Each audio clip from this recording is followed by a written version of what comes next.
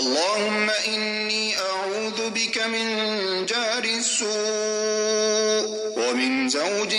تشيبني قبل المشيب ومن ولد يكون علي ربا ومن مال يكون علي عذابا ومن خليل ماكن عينه تراني وقلبه يرعاني حسنة دفنها وإذا رأى سيئة عذاعها.